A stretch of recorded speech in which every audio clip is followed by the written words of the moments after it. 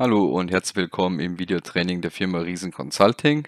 Mein Name ist Matthias Riesen und ich begleite Sie durch dieses Autodesk Fusion 360 Videotraining. Heute schauen wir uns an, wie wir hier dieses Teil zeichnen. Ähm, den Link von der Zeichnung habe ich natürlich wieder in der Videobeschreibung ähm, verlinkt. Das ist ein klassisches Rotationsteil, ein Drehteil. Das heißt, ich zeichne hier dieses Profil und da die Rotationsachse, drehe das ganze Teil dann dann fertige ich hier die Schlüsselweite an und diese Bohrungen. Dann können wir die Bohrungen reinsetzen, da auf der Mantelfläche und hier auf diese Schlüsselweite und dann diese eine Schrägbohrung ähm, anfertigen und dann noch abrunden und abphasen. Dann wünsche ich schon mal viel Spaß in den nächsten Minuten und wenn Ihnen das Video gefallen hat, würde ich mich natürlich freuen über einen Daumen nach oben, ein ähm, Kommentieren des Videos und auch von Teilen. Dann gehe ich rein in mein äh, Fusion.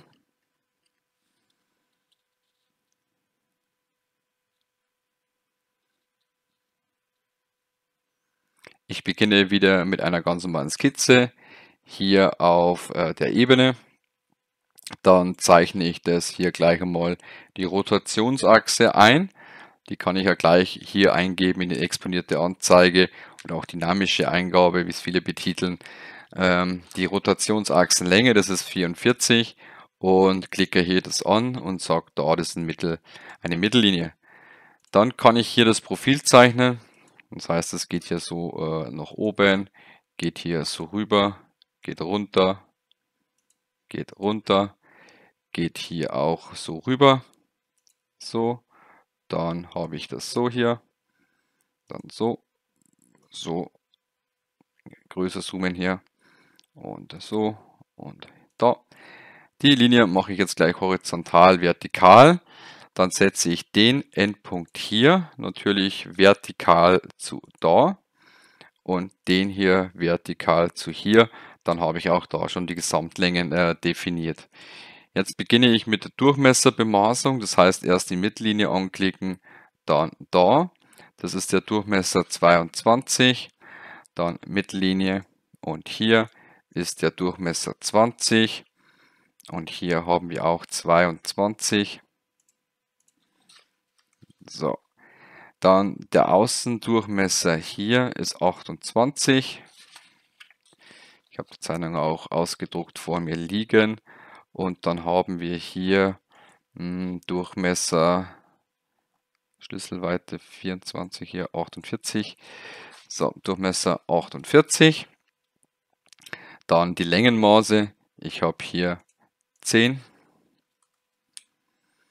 und hier auch die 10.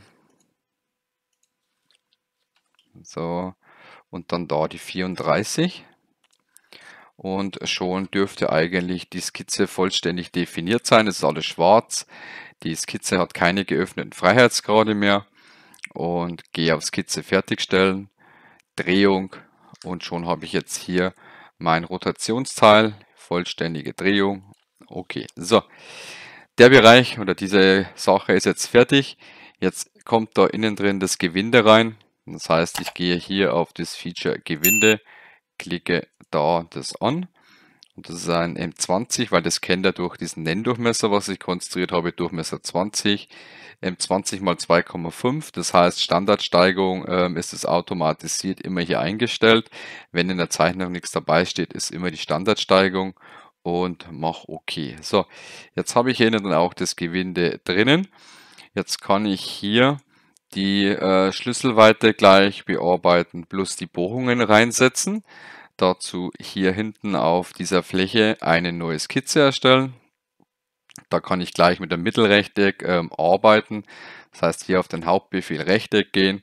Dann kann man in der Skizzenpalette hier die Unteroptionen auswählen, Mittelrechteck und ziehe mir das hier auf. So, diese Schlüsselweite hier an der Zeichnung ist 40.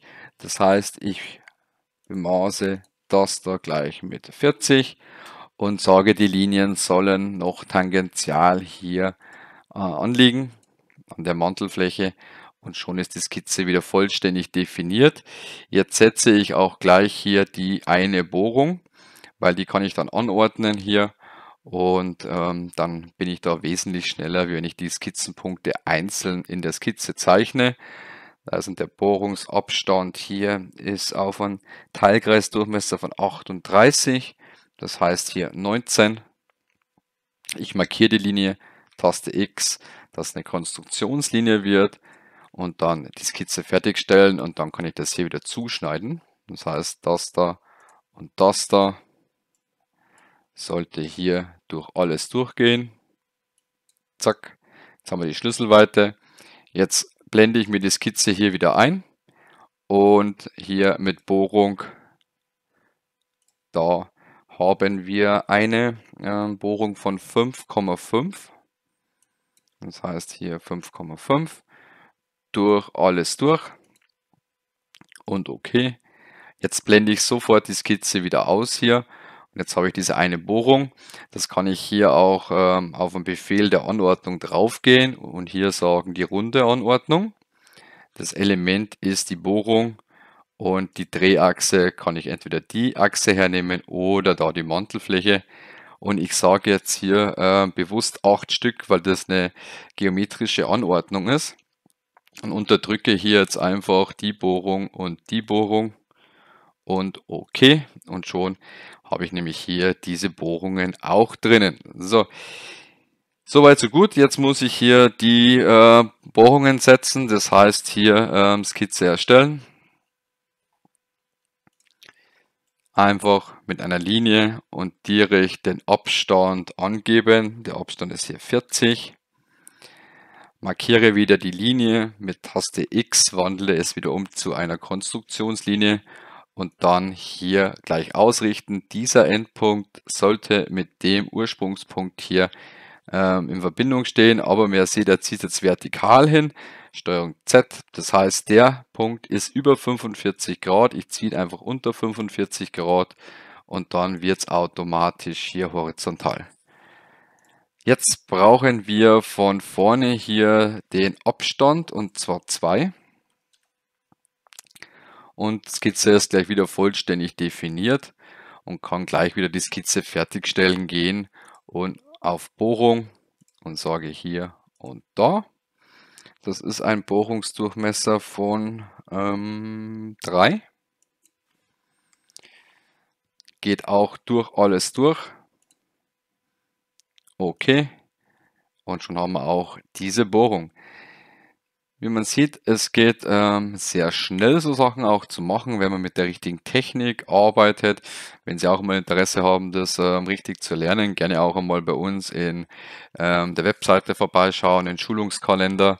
Wir bieten ja regelmäßig immer Schulungen an zu Fusion und äh, zu AutoCAD oder halt auch ähm, das Handbuch kaufen. Da steht auch extrem äh, viel drinnen. Da ist auch ähm, die Verlinkung in der Videobeschreibung oder auch im Kommentar oder bei Fragen auch gerne fragen. So, jetzt brauchen wir hier diese Schrägbohrung. Die ist etwas blöd bemaßt von der Mitte aus 14 dahin. Das heißt, ich habe diese Tiefe nicht. Müsste ich jetzt mir ausrechnen, aber dann fertige ich das einfach hier mit Drehung rein. Ist zwar mit Bohrungsmatch immer besser, wegen ähm, Cam-Systeme, aber ich kann das natürlich auch äh, rausdrehen, gar kein Thema. Wir haben hier 22,5 äh, Grad, es muss da drüben sein. Das heißt, hier gehört die rein, also versetze ich mir eine Versatzebene von äh, dieser Fläche. Wir haben, was haben wir für ein Maß? 5, das heißt von hinten hier rein äh, 5, also minus 5. Und dann machen wir hier auf dieser Ebene gleich eine neue Skizze drauf, wo ich jetzt natürlich hier aufschneide, dass er hier meinen Materialbereich bis zu meiner Arbeitsebene wegschneidet. Jetzt kann ich mir hier schon mal meinetwegen eine äh, Linie setzen, aber er kennt jetzt hier das nicht. Das heißt, ich muss vorher Geometrie projizieren machen, Taste P so, und ich kann hier auch zum Beispiel Körper projizieren machen. Klick den Körper hier an, mach OK und schon hat er jetzt hier die Sachen rein projiziert in meine aktuelle Skizze. Und jetzt kann ich hier zum Beispiel ähm, dahin, weil jetzt habe ich ein Objektfang. Dann brauche ich hier noch eine Gerade, die ziehe ich bis zur Mitte der Bohrung. Und jetzt sage ich hier, das ist Taste X, eine Konstruktionslinie. Und hier, das ist eine Mittellinie, weil das soll meine Drehachse sein. Und der Winkel hier ist jetzt 22,5 Grad. Jetzt schalte ich einmal schnell meine Komponentenfarben aus, dann sieht man äh, das besser hier von der Sache, beziehungsweise jetzt ist auch noch äh, das Aufschneiden drin, weil da wird es immer farbig. Lasse ich aber, ja, man sieht es auch. Lasse ich jetzt so dann sieht man es besser im Video. Und jetzt zeichne ich hier das rein.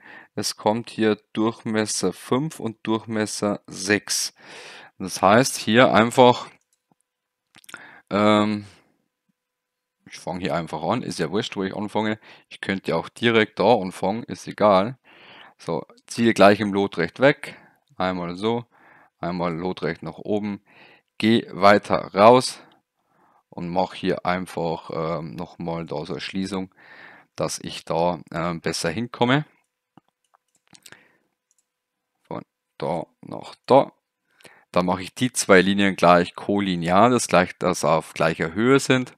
Und jetzt kann ich hier schön sagen, tangential sollte das da hier anliegen. So, was hat er? Fehler beim Lösen.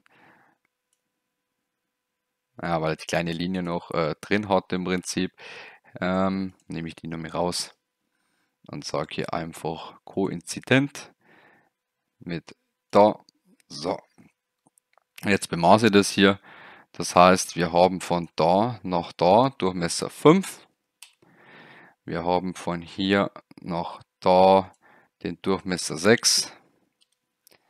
Und wir haben von der Mitte zu hier 14. Das heißt, das da ist 14.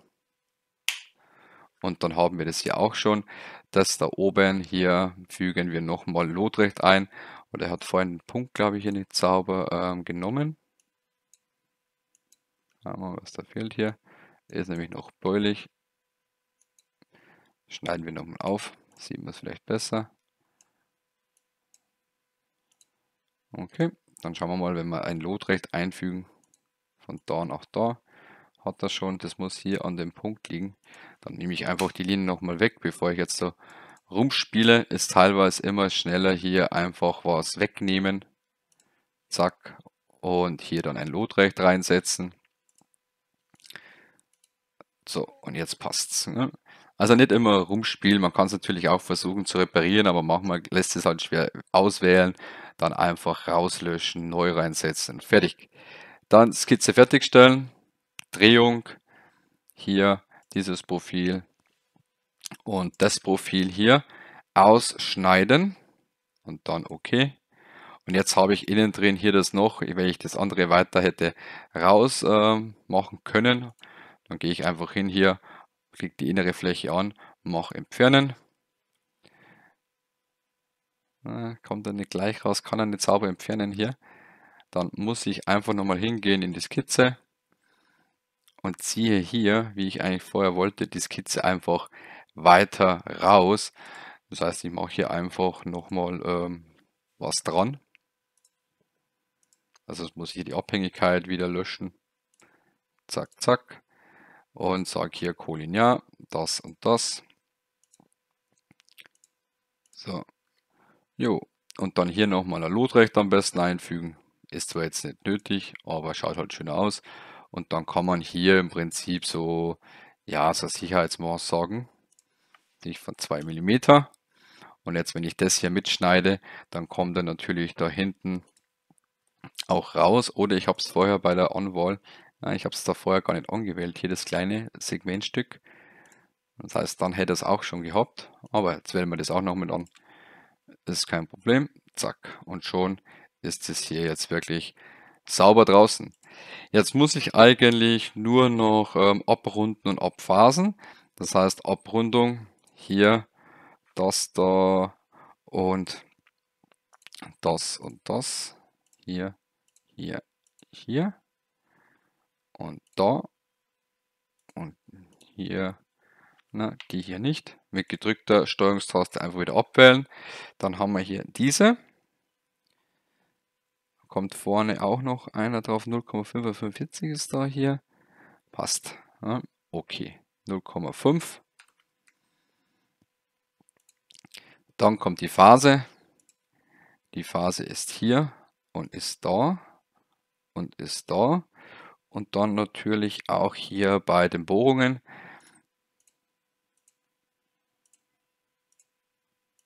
So, und hier auch.